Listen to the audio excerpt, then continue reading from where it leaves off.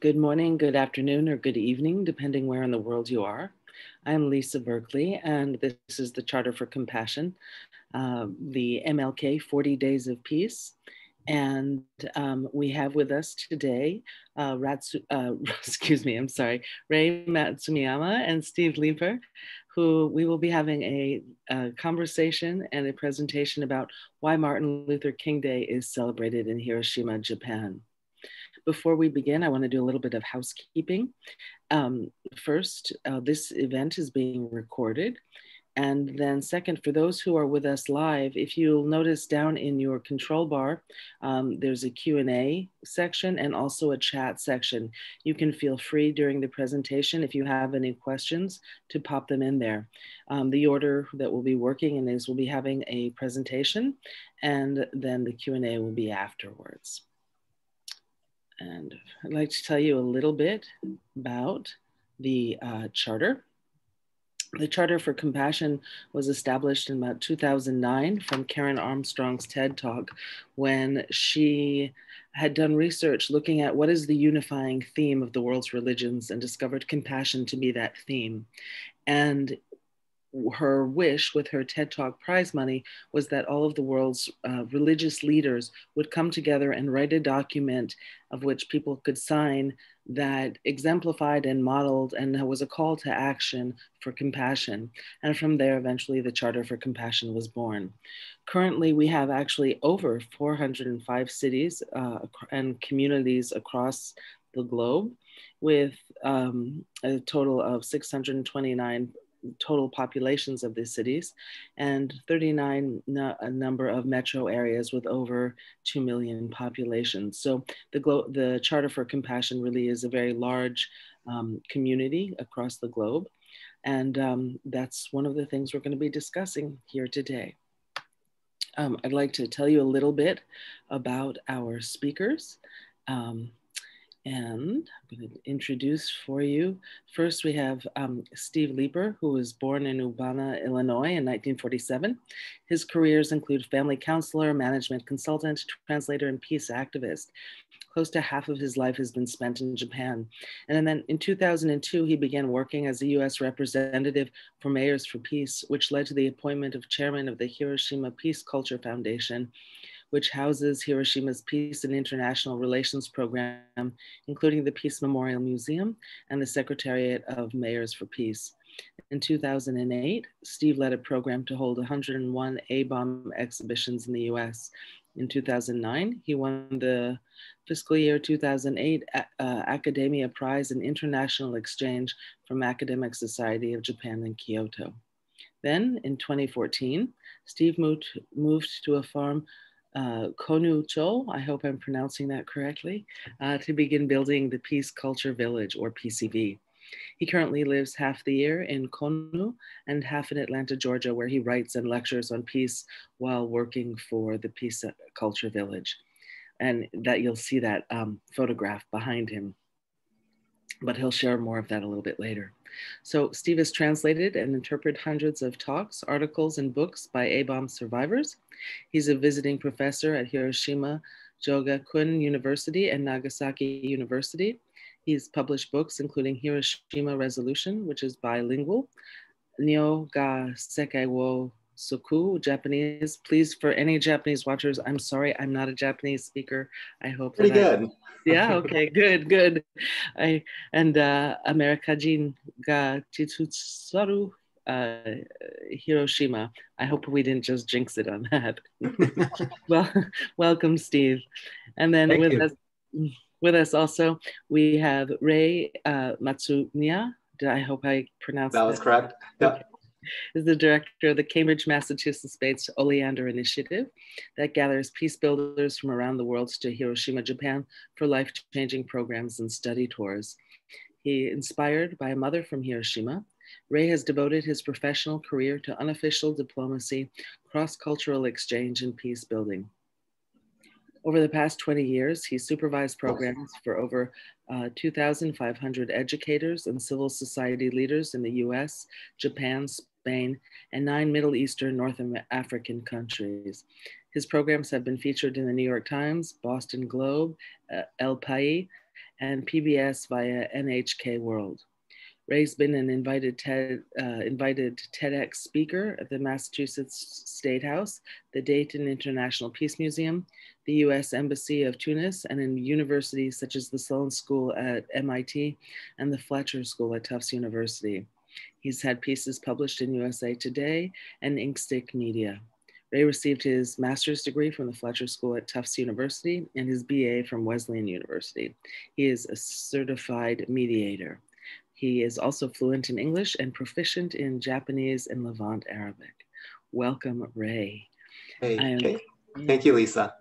I'm so very happy to have you both here with me.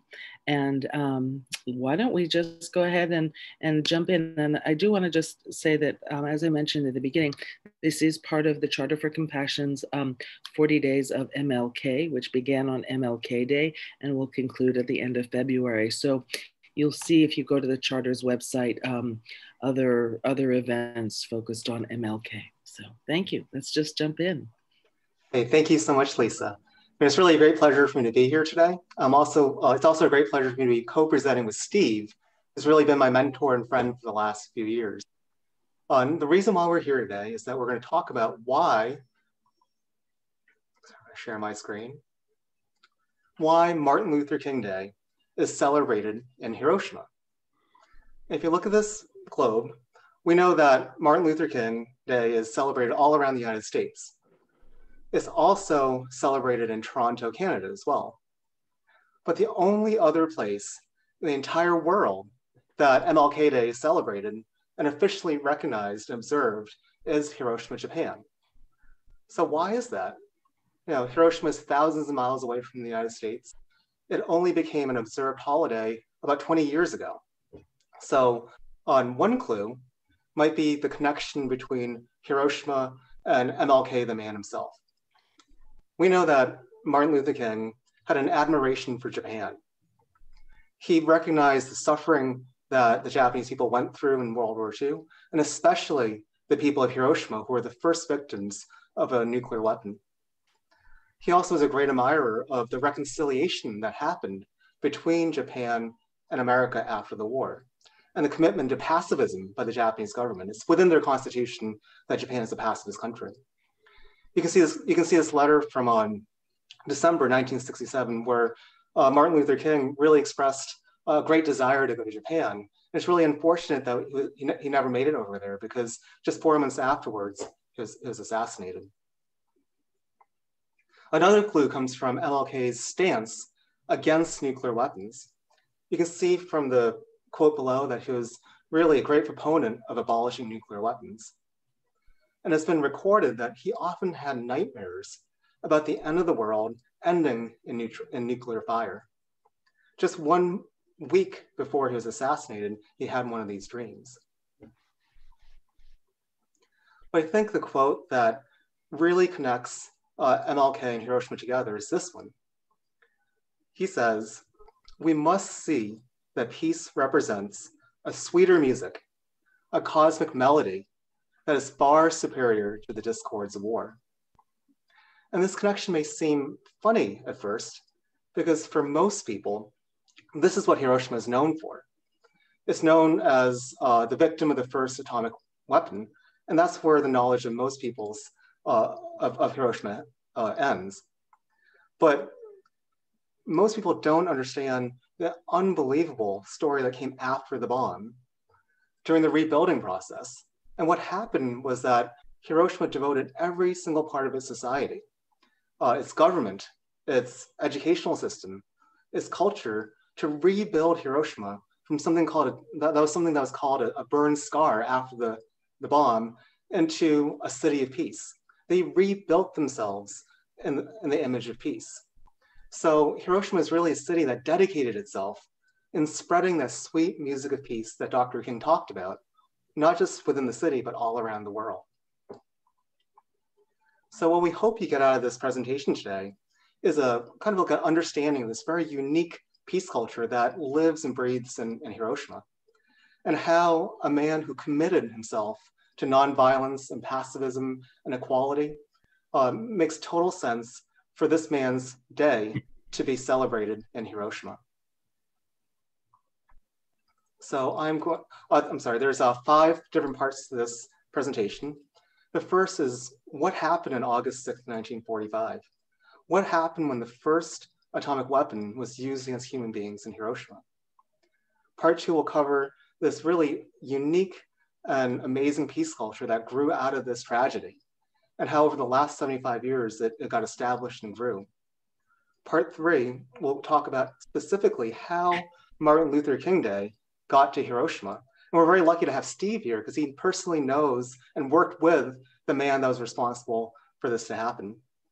Uh, we're going to conclude with our, uh, our work in Hiroshima. We do both online programs and in-person programs in Hiroshima. We take advantage of this very special platform and feeling that happens in Hiroshima for our peace work. We'll conclude with a question and answer session. So now it's really a great honor for me to pass it on to Steve Leeper, will talk specifically about what happened on August 6, 1945. Thank you, Ray. And thank you, Lisa and the Charter for Compassion. I'm really happy to be a part of this event. Uh, what I'm going to do is take you through the first few slides of my Google Earth presentation. I've used this with audiences in Pennsylvania, Hawaii, Japan, various places in Japan, England, South Africa, and Rwanda. Last year, and so far this year, visitors have not been able to come to Hiroshima. So we take Hiroshima to them. The tour I'm giving today is just a, a taste of what we can do. And I, am also trying to help you understand why Hiroshima became as peace oriented as it is. I begin in Tinian Island, and I here I talk about the Americans and their attitude toward the bombing. Then we fly over to Hiroshima, and here I talk about the size and the shape of Hiroshima. It's on a delta, and why it was selected. Uh, the Hiroshima is on a delta, and, and, it was estimated very accurately to be just about the size of a city that the bomb could destroy. Hiroshima was a military headquarters, but did not have a prisoner of war camp. It has an unusually high percentage of sunny days in August. It's easy to fly in and out of, no big mountains around it, in front of it anyway. And it has this nice T-shaped bridge right in the middle of it uh, that made a good target. I'll show you that in just a minute. Here we go to seeing Hiroshima from the bomber. The, this is the bomber. This is what the bombardier was looking at. And here is the T-shaped bridge. I hope you can see my cursor. They were aiming at that bridge and they missed it by 240 yards. Now, let me show you what was happening to Hiroshima or in Hiroshima when the bomb was dropped. Hiroshima was a bustling city in fact, it was one of the most prosperous in Japan at the time because it was so involved with the military. And I always show this to make sure that everyone knows that there were real people living there, living real lives. But we won't go through all that. I'm trying to save some time here. Next, I go to the hypocenter, and here is the bridge, the famous T-shaped Aioi bridge that was the target. And here is actually where the bomb exploded. And it exploded 600 meters in the sky above this point right here. And I'll skip the technical details of the bomb that I sometimes get into here.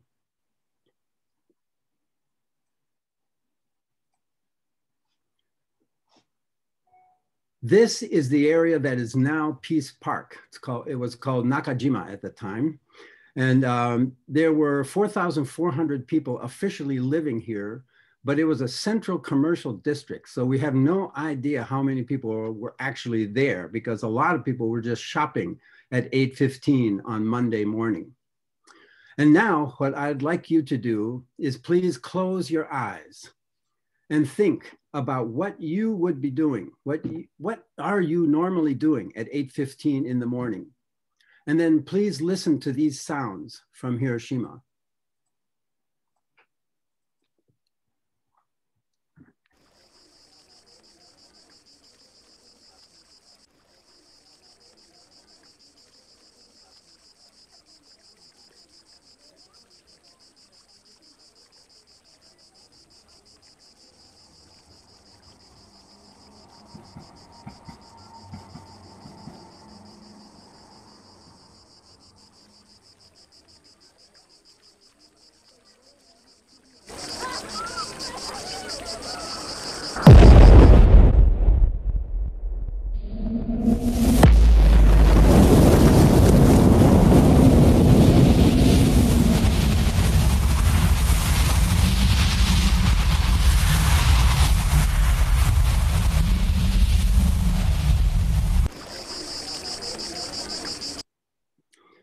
Now, please open your eyes. And this is that same place that you were just looking at. And this is what was left after the bombing. In fact, this is what was left of the area about 500 meters in diameter, so half a mile in all directions, looked about like this. 90 96% of all the people in that area died immediately or within a few days. As far as I know, there was only one person who survived in this Peace Park area, and he was in the basement of this very strong building that was the fuel hall at the time of the bombing. He was in, down in the basement and shielded. The, the A-bomb Museum is organized in this order, heat, blast, fire, and radiation. This is the order that they initially uh, believed things happened, but actually we found out later that radiation comes first.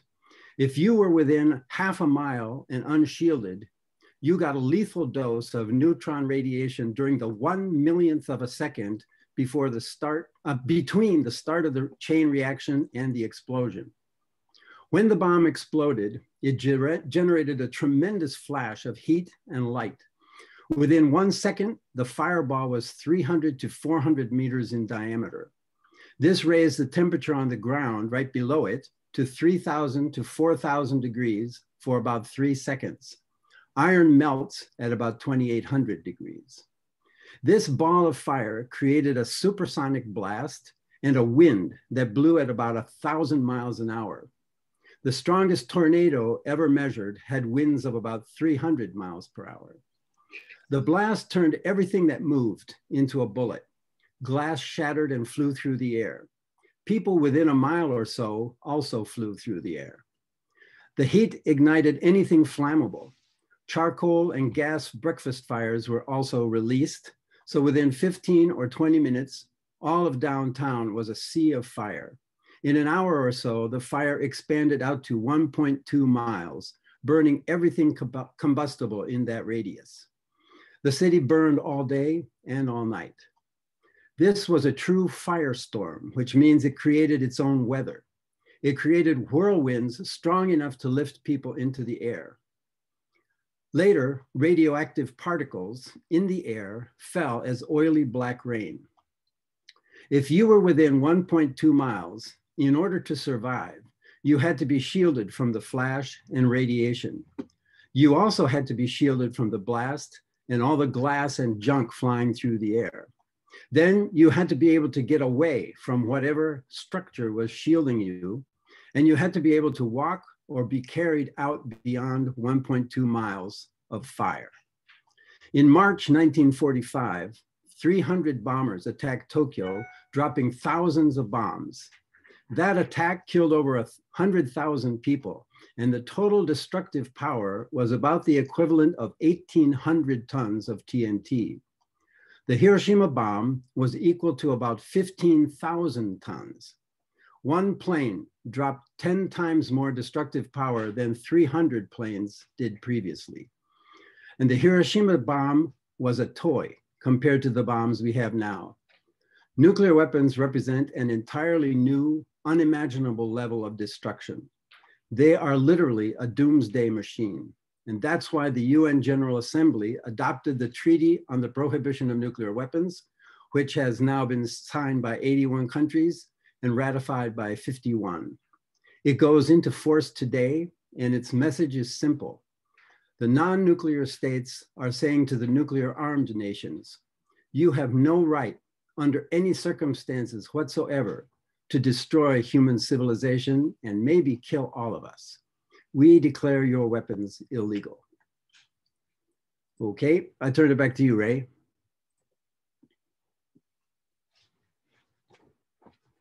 You are muted, Ray.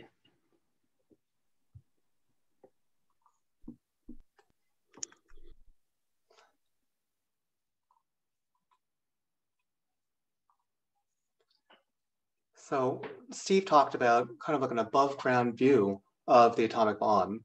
So now I want to talk about what happened underneath the mushroom cloud from that bomb. And this part means a lot to me because uh, my personal connection to this is really strong. My grandfather, uh, Yoshio Tsuchioka, was there on the day of the nuclear attack. He lived in a village uh, a few miles outside of the city in Kure. And it was a very rural town. And on that morning of August 6, 1945, people from his village started running up to his house and telling him that something awful had happened in Hiroshima. But no one could quite explain what, what it was. My grandfather knew that he had to go because he was the captain of the volunteer fire department. So he started gathering his men and getting his truck ready to go help the victims inside of the, inside of the city.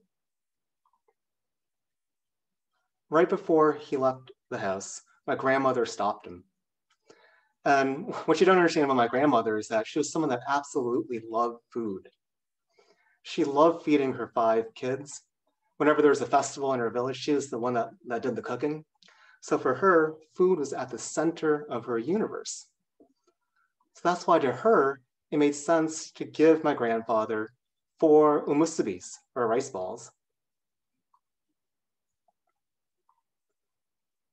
Because in her universe, in the centrality of food within it, there's nothing that couldn't be made a little bit better through food. So my grandfather took those four musubis, put them in his pack, and started going down the highway towards Hiroshima. And I can't imagine how he felt when he, when he, when he arrived there. And I can't imagine how he felt when he started treating the victims there. And he tried to give some of the omusubis to the victims, but he realized that they only wanted two things. The first was water. They were so thirsty from the radiation poisoning. And the second thing, whether they're soldiers or civilians, or men or women, or elderly people or, or little kids, they all asked for their mothers before they passed. So on what must have been the longest day of my grandfather's life, he entered into Hiroshima with four omusubis, and he went back out with four omusubis. About a week later, he felt a strange pain in his left eye. About a week after that, he lost it from the radiation that he was exposed to. But he never forgot what that eye had seen. And for the rest of his life, he was talked about the three lessons of Hiroshima that he learned from that terrible day. The first was to forgive, but never forget. He actually forgave the Americans for doing this. Uh, so much so they let his daughter, my mother, move to Boston and, and live here for the rest of her life. But he never forgot the suffering of the people of Hiroshima. The second thing that he learned was resiliency. He actually became an optimist after this because he realized that people always go forwards despite the adversity that they face. And to do that, you had to let go of some of the sorrow and the and the and the terror and the and the feelings of revenge and move towards the future, to go forwards. And third is probably the most important. He thought it was, a, it was the responsibility of every single human being on earth to make sure what happened to his city would never happen again. That it was everyone's responsibility to promote peace. So my grandfather is known uh, as, as someone, uh, as a, is known as a hibakusha, or a victim of the, of the atomic bomb. And the three lessons that he took out of Hiroshima weren't unusual. In fact, many Hibakusha echo the very same sentiments. And this is an article from Time Magazine 15 years ago during the 60th anniversary of the bomb that really uh, moved me. And in this, they asked uh, victims of the Hibakusha, what is your message to future generations? And this is what some of them said.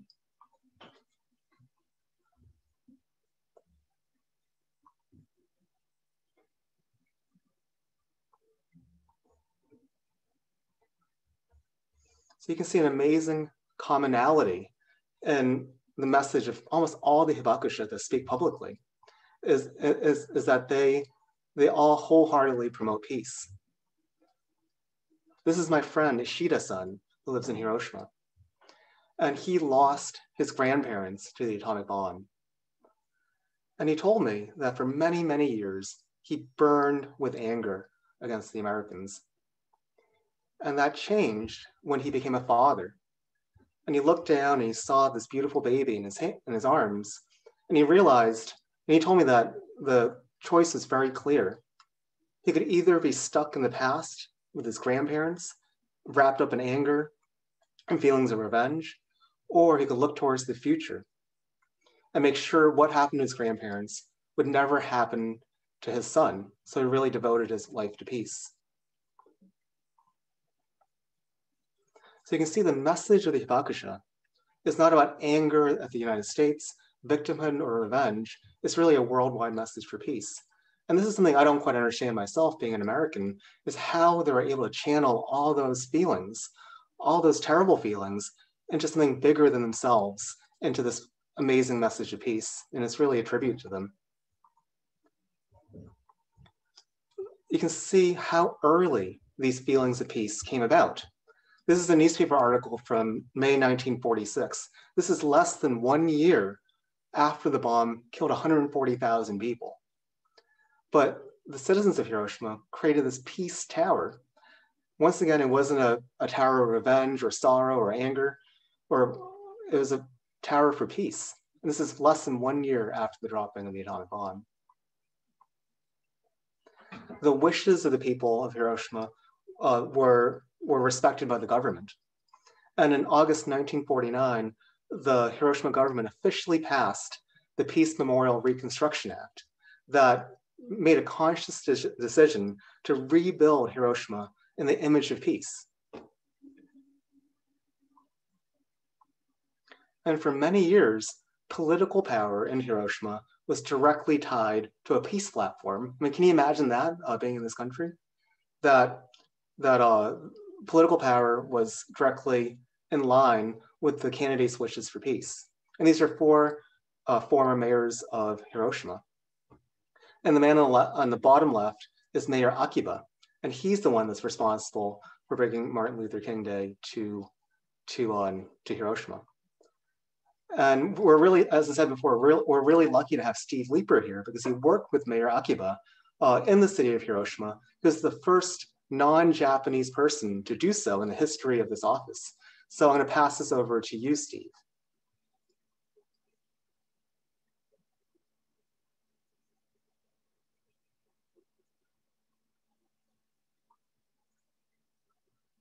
Oh, you're muted, Steve. Oh. Thank you. Uh, all four of those mayors were reading peace declarations. This peace declaration is a uh, is part of the ceremony that takes place on August 6th when the whole city remembers and the whole park fills up with people remembering uh, what happened on August 6th. Uh, the Mayors for Peace was created in 1982 as a campaigning arm of Hiroshima and Nagasaki. They fund it together, but the secretariat is in Hiroshima's Peace Culture Foundation. The original idea was a protest Hiroshima and Nagasaki decided that if countries are not going to ban nuclear weapons, cities will have to do it. But in the first 20 years, all they did was hold a conference every four years. So they only got about 500 city members. To become a member, a mayor has to sign the quote, program to promote the total abolition of nuclear weapons. So you have to take a stand against nuclear weapons. But that's all you have to do. Well, oh, the other thing is the mayor has to do this on behalf of his city. So the members are cities, not mayors. When the mayor stops being mayor and someone else comes in, the city remains a member unless the mayor takes an action to stop being a member. Mayor Akiba was very quick to see that this network of city had a lot more potential. He became mayor in 1999. He hired me in 2001 and another American activist in 2002. Then in late 2002, we, the Mayors for Peace and uh, the city of Hiroshima, launched the 2020 Vision campaign in Nagasaki. Our declared goal was a treaty banning nuclear weapons by 2020. But our first task was to expand Mayors for Peace membership and raise our profile We started with 500 mayors, but after launching the 2020 Vision campaign, we were oh, soon getting 500 new city members each year. By the time Akiba stepped down as mayor in 2011, we had over 5,000 members. Today, we have nearly 8,000 cities in 164 countries. Mayor Akiba was unusual in many ways. First, he was the first post-bombing mayor who was not himself a hibakusha or a survivor. Another difference is that he was a peace activist before he got into politics. That happened because he went to the US as a foreign exchange student. And he was extremely frustrated because his English wasn't good enough to argue with the Americans who were happy about the Hiroshima bombing and the fact that the US has nuclear weapons. As a result, he learned English so well that even as he was studying math at Tokyo University, he became a simultaneous interpreter. He is completely bilingual and bicultural and a citizen of the world, not just Japan. He went to MIT, where he got a PhD in mathematics in only three years. He taught at the University of New York, Stony Brook, then at Tufts University. And so he was in the United States for a total of 18 years.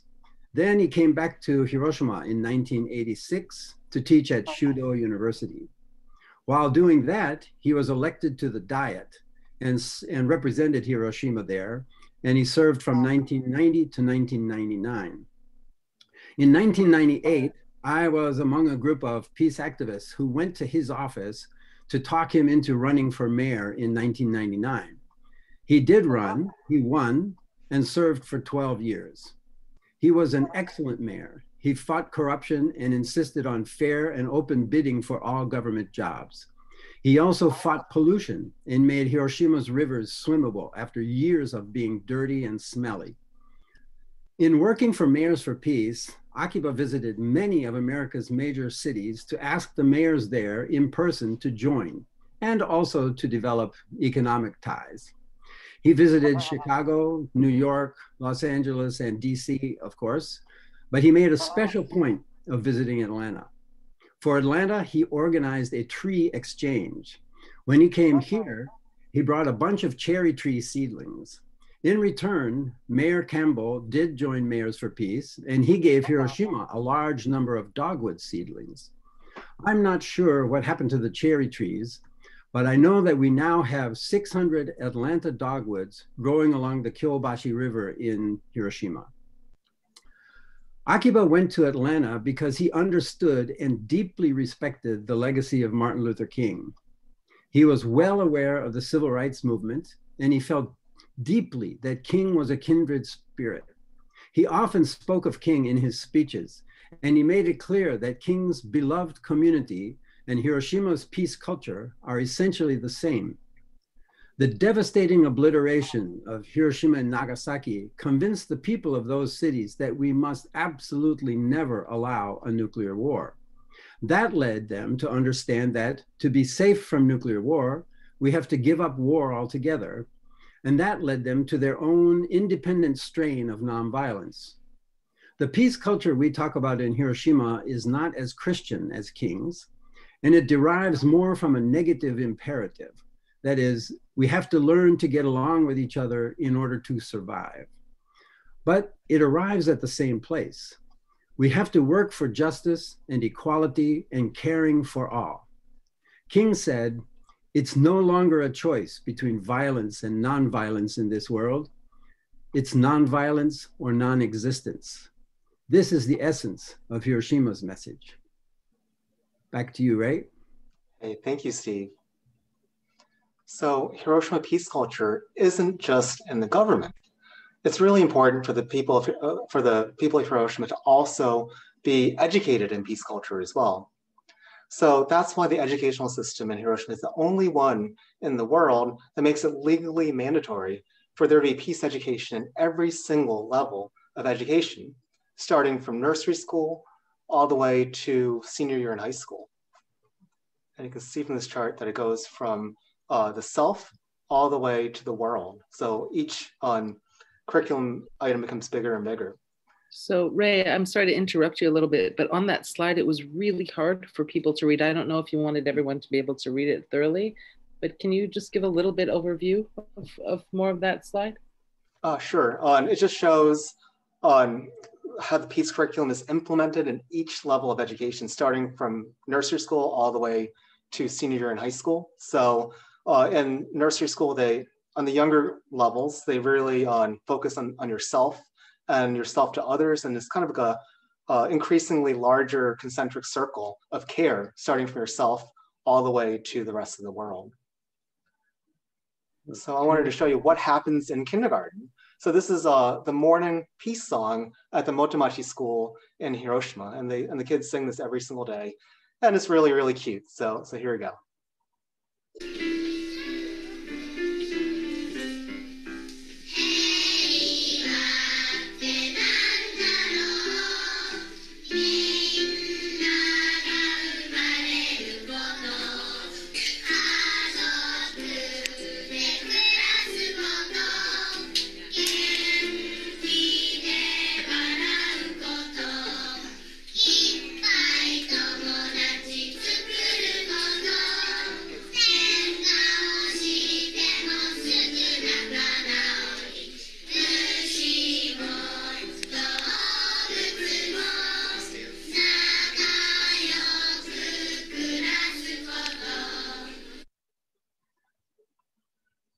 That's uh, kindergarten uh, in, in Hiroshima. I think one of the most uh, inspiring things about Hiroshima is that it's an example of mainstream peace, which means that peace really permeates every single part of the society. You can just see this just walking around on the city. The main museum is Peace Memorial Museum. The main park that really dominates Hiroshima is Peace Memorial Park. The main street is called Peace Boulevard. The main, the main bridge is Peace Bridge. You can kind of see where I'm going with this. It's also been somewhat commercialized as well. So you can uh, stay at the Peace Hotel and then eat lunch at the Peace Cafe, get a snack off the street, a Peace snack off the street, go to a Peace bathhouse, uh, get on a bike from a Peace bike ride share, and get your nails done at the One Piece Nail Salon. So in many ways, Hiroshima is really the living embodiment of peace, nonviolence, and, and really like the optimism and the good of people, which are so many of MLK's core values. So uh, our last part of our presentation covers uh, the actual culture of peace that lives in Hiroshima and why it's so good to run peace building programs there. So I think the most important factor in doing peace programs in Hiroshima is that it is one of the most optimistic places that you can think of. It's it's really counterintuitive, but Hiroshima is is an extremely optimistic place. And if you bring people from conflict zones, a lot of times it's hard for them to see past the terrible present that their communities are in from, from conflict. But if you bring them to Hiroshima, they'll see uh, the amazing transformation and the benefits of peace. So this is Hiroshima in 1945, and this is Hiroshima today. And you can see that it's a city built on peace. So it really shows the concrete benefits of peace to participants on who may not be able to see that. And in our and in our experience, on really optimism is really the key factor to help participants move towards reconciliation. Uh, the other, another, another factor is the environment. Uh, many of you know about the Oslo process or the Dayton peace process, and the basic premise for these peace processes were to take combatants out of their uh, homes and their communities, transport them to somewhere uh, beautiful. In, in, in, uh, in Norway, uh, in Oslo, uh, a group of Israeli and Palestinian academics got together in these beautiful woods. And because of the environment and, and the nice environment there, they were able to hash out the Oslo Peace Accords. But Hiroshima is like Oslo, but on steroids. Not only is it a beautiful place, it's a place where the entire society is basically yelling at you to create peace. So the environment is an amazing factor in our programs. Uh, lastly, I think there's a lot of emotional resonance. especially from the hibakusha or the survivors of the bomb. So if you have uh, a hibakusha that tells you that you know her entire family was killed by the Americans by this nuclear weapon, but she's forgiven them and moved on to try to in, in, in promoting world peace. And for you uh, that came to Hiroshima to do the same thing is really a powerful emotional engine that helps our participants promote peace in their own communities. Uh, both me and Steve do in-person programs and online programs. So uh, I think we've, between us, we've brought maybe uh, participants from around 15 different countries to on our programs in Hiroshima and right outside of Hiroshima as well. Steve actually owns on a country house and participants can experience peace culture within the city of Hiroshima, but also experience peace culture in the countryside through his organization, Peace Culture Village. And we do both do uh, online on tours, virtual tours of Hiroshima, and on we, uh, recently we implemented a three uh, session module that lasts for about uh, four and a half hours uh, on the theme of resilience. So that's the end of our uh, presentation. I hope you enjoyed it. Uh, please contact me and Steve if you're interested in either going to Hiroshima in person, hopefully when the pandemic when the pandemic ends, or are interested in engaging in some of our online programs. So thank you. Mm. Wow, that was incredibly powerful. Thank you so much for um, for sharing that with us. Um, I just feel like I, I want to take a second. Um, the the experience you gave us of hearing the sound, I that um, that is incredibly powerful. You know, you can read about and you can see the photographs, but you gave such a visceral experience. I mean, I, I still feel like I'm rattled to my core a little bit from that. And then of course the sound and then with the stories. What a powerful presentation. Thank you. Um, i'm going to just take a quick look here to see if anybody has any specific questions um, steve you did mention that um, today is, is a very important day as it's officially uh, for those who have ratified the, the, the treaty that um, as of today, nuclear weapons are illegal. And um, Marla Slavner, Slavner um, put an article in the chat about that. And then also uh, Terry Provance said Martin Luther King Jr. gave one of his most important speeches on April 4th, 1967, called Breaking Silence, opposing militarism, racism, and in inequity. On the same date, April 4th, he was assassinated in 1968 a coalition of peace and justice groups is calling for local readings of the speech everywhere between April 1st and April 5th in 2021. A new website is being constructed, kingandbreakingsilence.org. So please join. Uh, this is Terry's request that you please join. Again, that's kingandbreakingsilence.org. And breakingsilence.org. And then he asks that you go ahead and um, contact him at terryprovance at gmail.com. T E R R Y P R O V A N C E at gmail.com.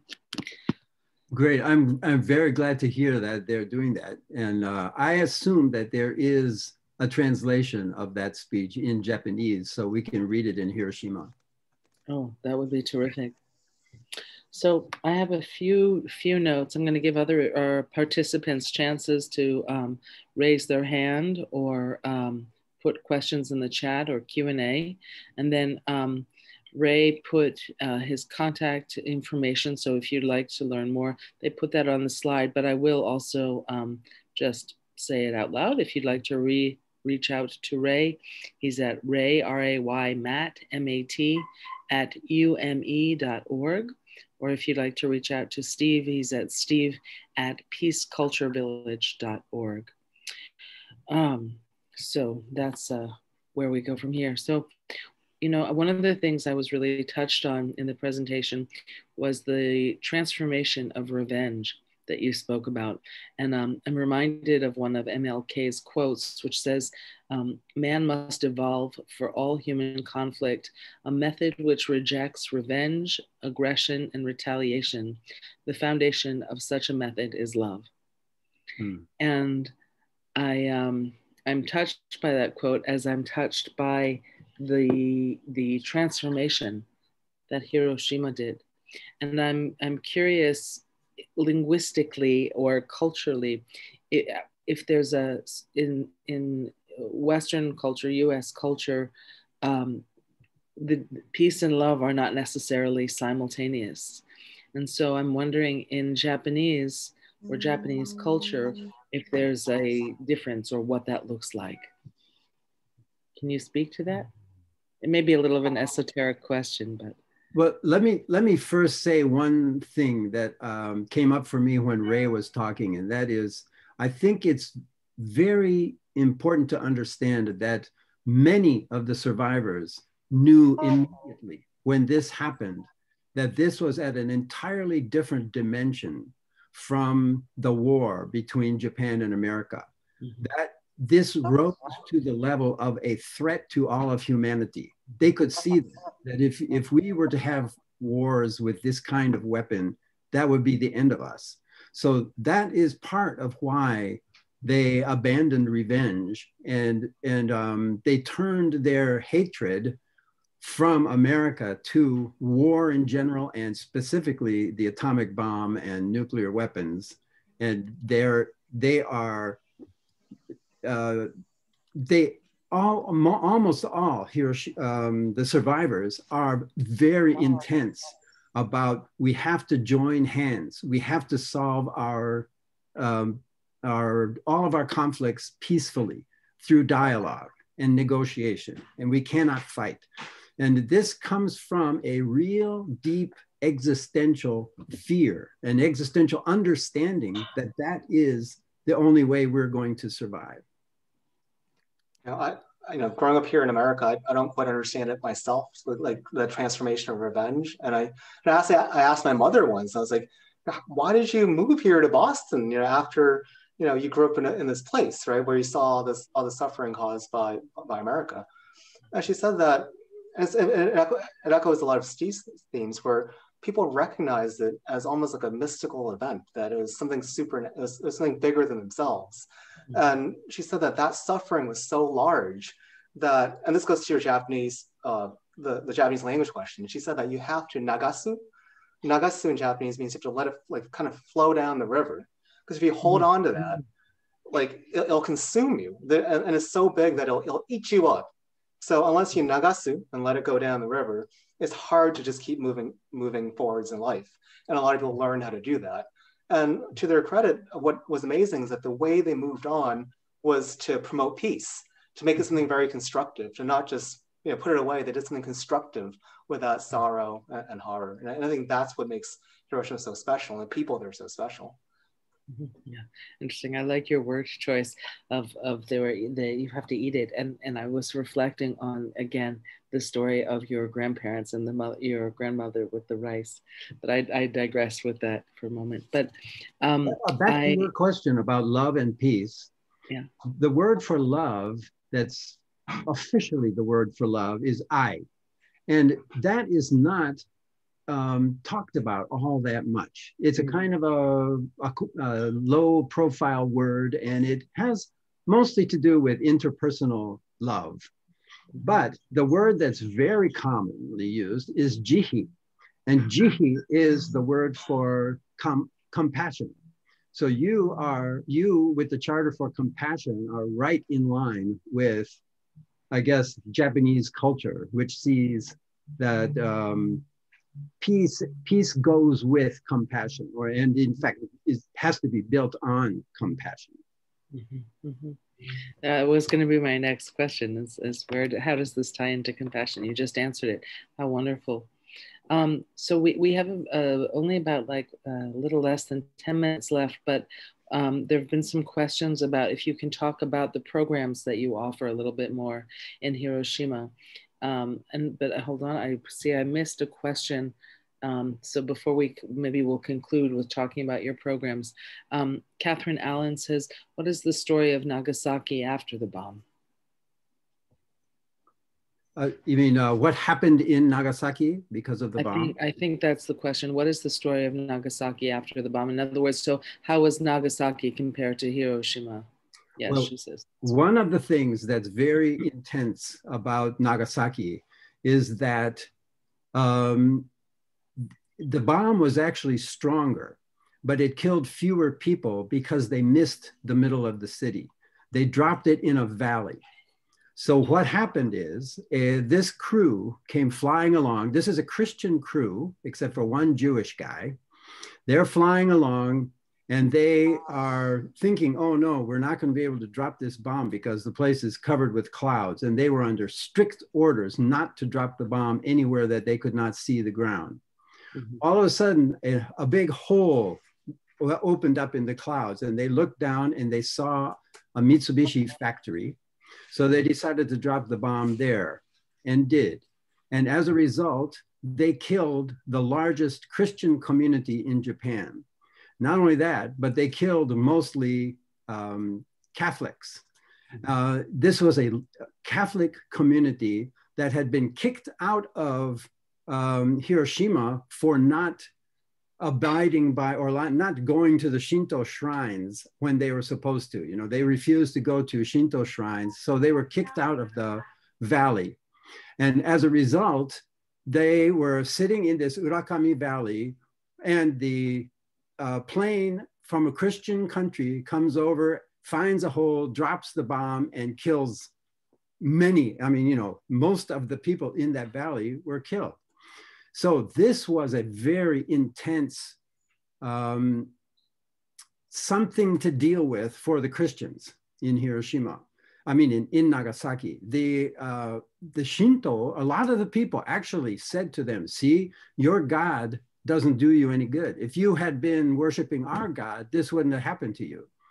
So this was a, um, you know, very intense uh, let's say, religious problem in Nagasaki that had nothing like that happened in Hiroshima. But uh, my friend, I have a good friend who said that the meaning of the bomb in Hiroshima is that we have to give up war. The meaning of the bomb in Nagasaki is we have to give up religious competition. Wow. That's tremendous. Ray, I see you nodding your head. Did you want to add anything to that? Yeah, I think there's a very interesting on um, Christian dimension to the legacy of Nagasaki. There's more of a sense of martyrdom and, and a lot of on um, the Hibakusha testimonials. And unfortunately, it's always been like uh, like playing second hand to Hiroshima. Hiroshima is usually like the main, you know, on point of focus, and Nagasaki always comes a little second. And I think part of it is that Hiroshima became the city of peace, and, and Nagasaki became the city of, uh, of like internationalism. I think, Steve, is that is that correct? Yeah, and prayer, peace and prayer. They say too. Yeah. So um, even now, there's there's, there's um, a little bit of a competition between the two, and I think it's, it's, it's always a shame that Nagasaki isn't as recognized as, as Hiroshima for, for what happened there. And and actually, Nagasaki, well, I I, I should Maria was referring to the fact that Nagasaki was the really the only city that was open during the 300 years that Japan was closed to the rest of the world. Nagasaki was open, so it had a large community of foreigners living there for hundreds of years where they weren't living elsewhere in Japan. So there were people from Europe, uh, especially Catholic, uh, missionaries and all.